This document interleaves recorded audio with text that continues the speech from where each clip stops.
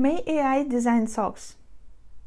Hi, my name is Kate. I'm a software developer. Knitting and crocheting are my hobbies, and I love technology. And I'm always looking for a way to use them in uh, another aspects of my life besides of work.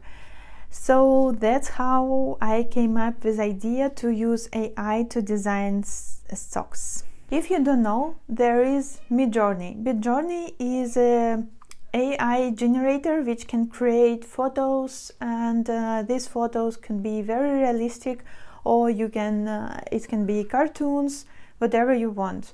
To use midjourney you need this uh, discord uh, app or discord account and not actually discord can be used from your browser but you need discord account and midjourney could be used for free but for limited times and you can buy like you can buy a, subscription to make more uh, arts uh, during the month. Nowadays people use midjourney a lot. Uh, for example software developers use it in more practical way.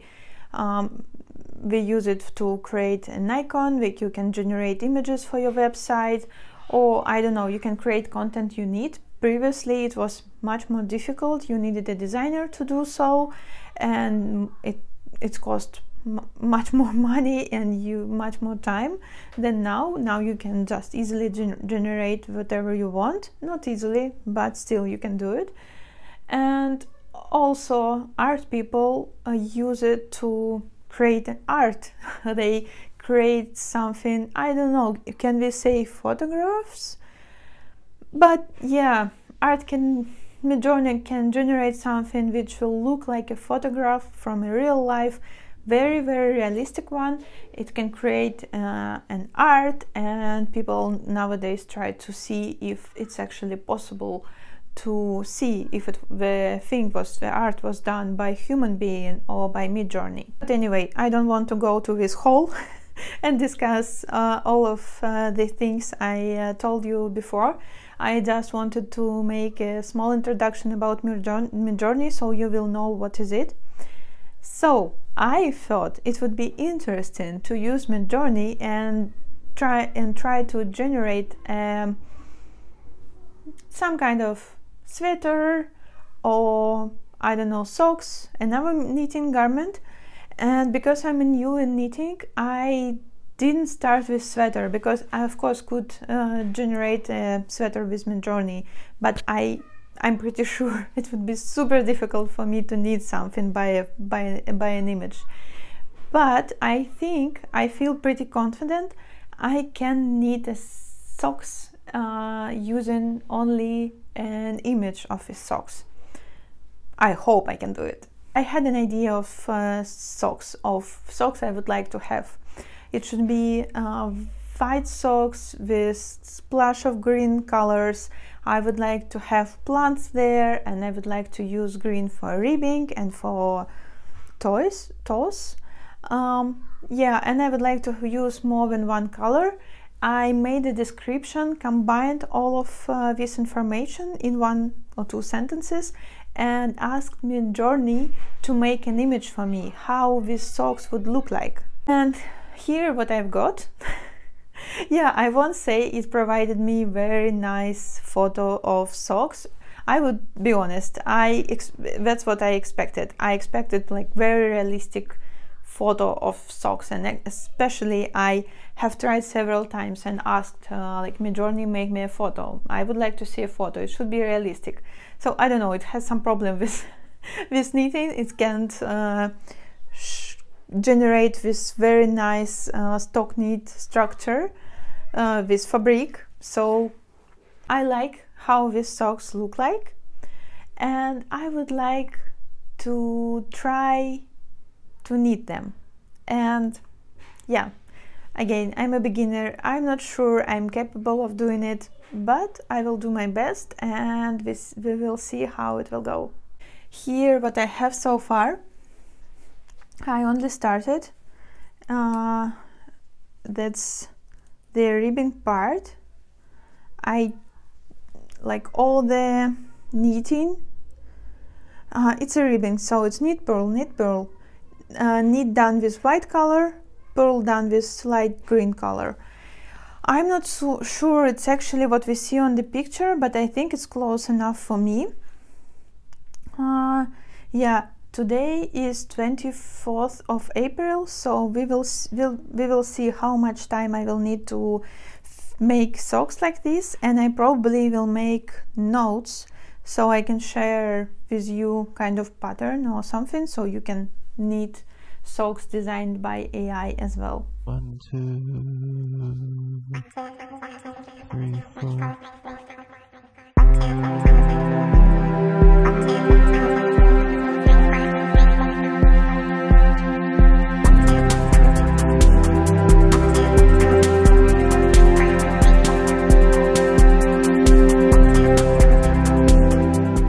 Like to give you a small update about how I deal in this color work. So initially I wanted to have uh, a clover on the cuff of a sock. I think it's called the cuff, the leg part of the socks. I wanted to have a clover and that's what I was asking from Midjourney. The result looks a bit strange. It's not exactly what I asked for, but doesn't matter. I decided to stick with my original idea and make uh, clover and make clover leaves on the cuff of the socks.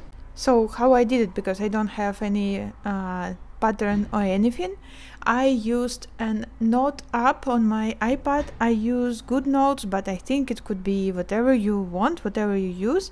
So basically, I just open grid line uh, page and painted a clover uh, leaf.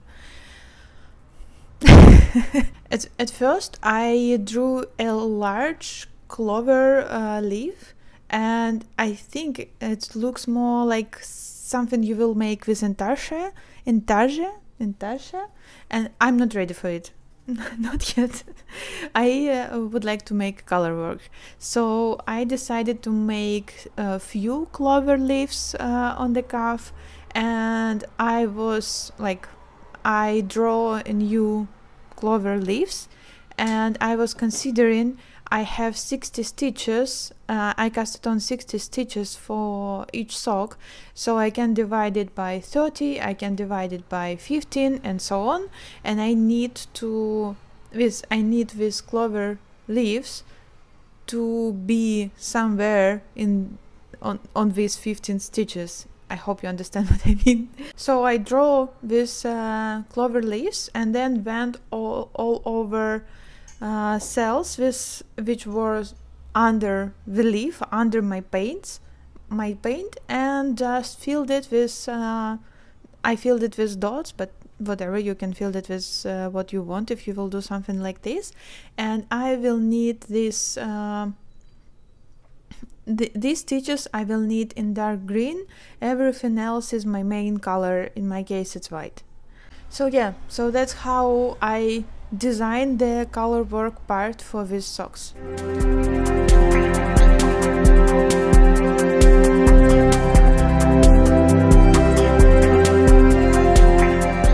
There are a few more rows with color work for which I didn't draw any charts or anything.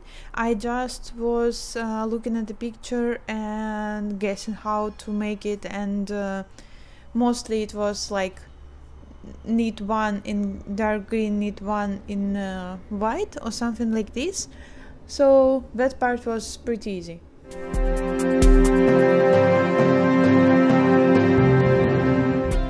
So the first sock is ready and I will show it to you right now but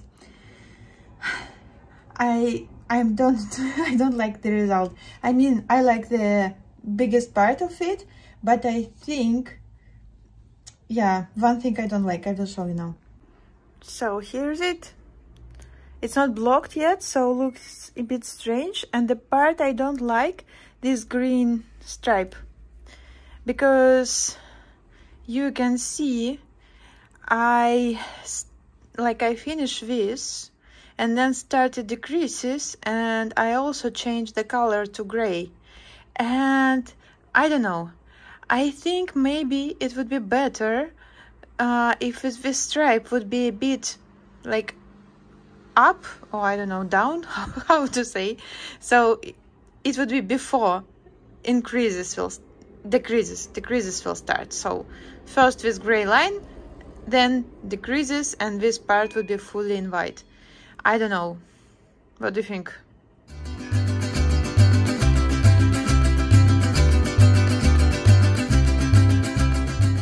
I want to show you a mistake I made on this first sock and I solved it on the second one. So look here, um, you can see uh, then the end of a row. So it's kind of step between these uh, stripes, you see? And I don't really like it, so I was looking for a way to make it look better. So I will show you now. This is the second sock. And it's much better yeah? I like how it looks. The trick is uh, then you need the last uh, stitch here in the uh, new uh, stripe. You should knit it in the stitch on the row below. Not like uh, yeah on the row below. So then the stripes would be uh, would look nice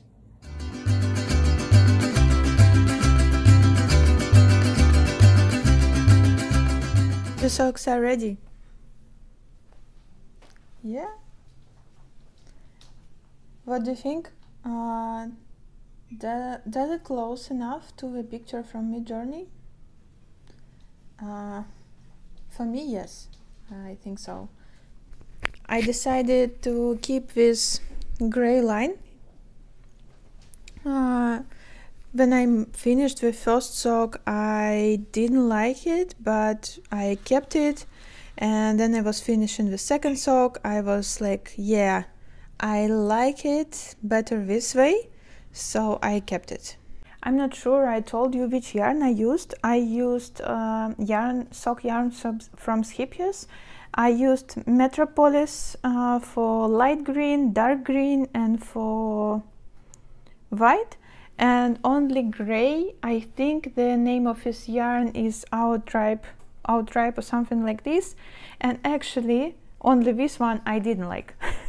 So yeah i won't recommend this one. But Scheepjes uh, metropolis is very nice sock yarn and i will recommend this one definitely while i was working on these socks i learned uh, new techniques for example i learned how to wave the ends uh, while you knitting when you join a new color, a new yarn. And it was very useful because I have a lot of stripes here, color work. I have four colors and it was so nice when I finished these socks. I didn't need to go and wave all these ends. I like it.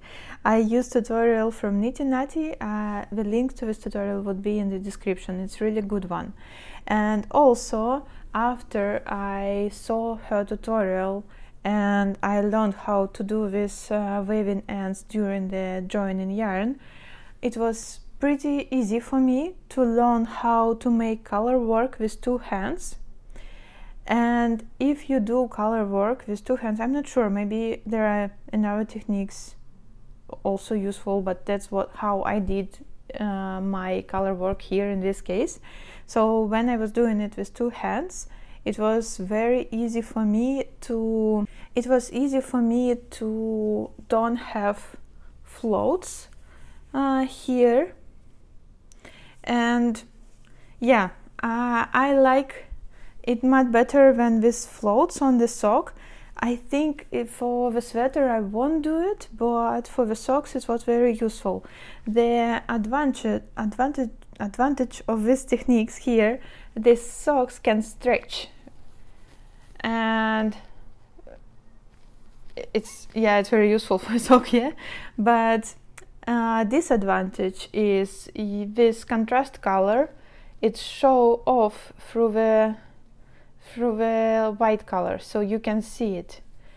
I'm okay with it. I don't think it's a problem because I prefer this uh, stretchiness uh, I have uh, I have done another socks with color work, and I left I did it with floats there, and the socks not stretch in in this part in the leg part, and it's not very comfortable to wear because of this. It's okay, I can wear it, but I prefer it this way, and I don't care that you can see contrast color a bit through the white color. I am fine with it. I was concerned a bit about ribbing part and do it doing it with two colors and it also worked very, very well. It's uh, yeah, I like the way it looks and it's pretty comfortable to wear, so no problem here. The goal of this video was to see if AI can design socks and because of this I decided not only um, make a visual part but also go, uh, go and try to make an actual written pattern and for that I used ChatGPT and I asked if you don't know what is ChatGPT, ChatGPT is pra practically just a chat where you can ask your questions and it will write the answer answers for you. It's uh, you can use it as a Google, you can use it to like I don't know to make some job work done for you. For example, I asked it to write a pattern for me. And I will show you now what I've got, but I would like to say it's like small disclaimer before. Uh, first of all, this pattern I've got, it's uh, it's basically the pattern from for my vanilla socks. If you're interested how I knit my vanilla socks, that's how I do it. But it's not the pattern you may use to knit these socks. Um, yeah, and also be careful because there are small mistakes uh, which ChatGPT ma uh, made in the pattern. I didn't manage to uh, make ChatGPT to write a pattern which would be ready for release, which could be used to knit with socks. Um, yeah, so I what I did, I just took this uh, what ChatGPT wrote for me as a base, and I uh, went through it, I found few mistakes, I fixed it, I made uh, counts for another sizes, I added instructions for especially for color work, for charts, some small things I learned during uh, the work on these socks. And now I have a pattern uh, you, which you can follow and knit socks like this. And now I have a dilemma because uh, on, on one hand, I spend a lot of time to uh, take this picture from Midjourney, uh, knit the socks, socks from it, and uh, then make a pattern, fix all mistakes, uh, count uh, everything for other sizes, painting, like making these charts for color works, and so on. Uh, so I spent a lot of time and a lot of effort there. But on other hand, uh, the socks basically were designed by, by Midjourney. Yes, I provided like an idea, but the actual like view was designed by, by Midjourney and the base of a written pattern also was made by, by AI, by ChatGPT. So I'm not sure if this pattern should be paid or not. so I really, I will appreciate, I appreciate your help with it, and I really need it. Please let me know in the comments what do you think. And uh, yeah, anyway, paid or not, the pattern should be tested. And if you are interested to test this in testing this pattern, please let me know. I will leave an email in the description. Send me a message or just leave a comment what you would like to test it, and I will provide you this pattern for free so you can check if there are some mistakes I uh, missed or maybe you need some additional instructions for something I made here. In the beginning of this video I have asked the question may AI design socks and to be honest I still don't have, don't have an answer. Um, yeah, uh, as I told you, and I think Midjourney may design the socks. You can basically just go there and say, okay, uh, just imagine a sock for me and it will provide you some pictures which you can use to knit socks. Um, but if you would like to have something special you need an idea and uh, midjourney can't provide an idea so it should come from you. Uh, the same with written pattern. It can it it like it ChatGPT can write a pattern but you should be very careful with these instructions. I would say advanced knitter may use it and may find all the mistakes which uh, ChatGPT makes in the patterns but uh, I think beginner may miss them because they are not obvious it's not something you will like immediately notice you will probably notice it only when while you will need already uh, a sock or sweater it doesn't matter so it can and it can't in the end my opinion i think ai can't uh, be a designer it can help advanced knitters to design something but not design it by itself Uh, and of course, I'm open for discussion. I would be very, I'm very interested to to hear what you what you think, what your first thoughts on this topic. Uh, let's discuss it in the comments. Thank you for watching this video. I'm waiting for you in the comments and see you next time. Subscribe to this channel if you didn't yet. And happy knitting, happy crocheting.